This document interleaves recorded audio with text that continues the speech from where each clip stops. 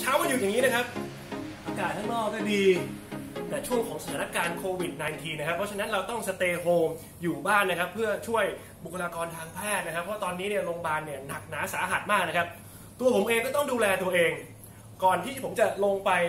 workout เบาๆ เรียกเหงื่อเพื่อสร้างภูมิคุ้มกันนะครับ ผมจะต้องหาอะไรรองท้องรับประทานนิดหนึ่งครับ ก่อนที่เราจะลงไปเล่นฟิตเนสนะครับ เราต้องหาอะไรรองท้องแบบเบาๆก่อน ว่าเราจะลงไป burn แคลอรี่อย่างหนักหน่วงมาก เราก็ต้องเอาอาหารที่มีคุณภาพคุณภาพนะครับ เพิ่มแคลอรี่เข้าไปในร่างกายสักนิดหนึ่งครับ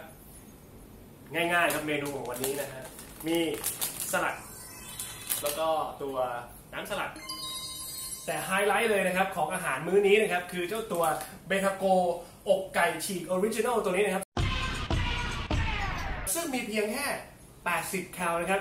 และแน่นอนเบทาโกนะครับเนื้อสัตว์ของเขาเนี่ยก็ผ่าน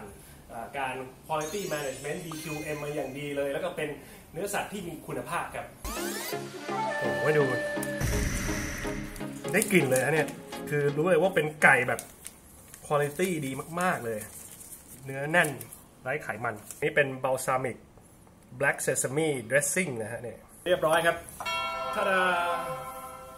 ขอชิมนิดนึง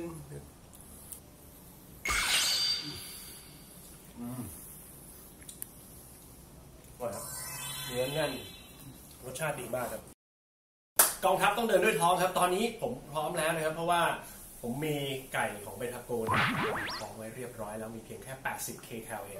นะครับตอนนี้เราไปฟิตเนสแต่สิ่งที่ขาดไม่ได้เลยนะครับ ก่อนลงไปฟิตเนสข้างล่างเนี่ยต้องใส่แมสก่อนนะปลอดภัยโอเค เดี๋ยวตามผมมาครับ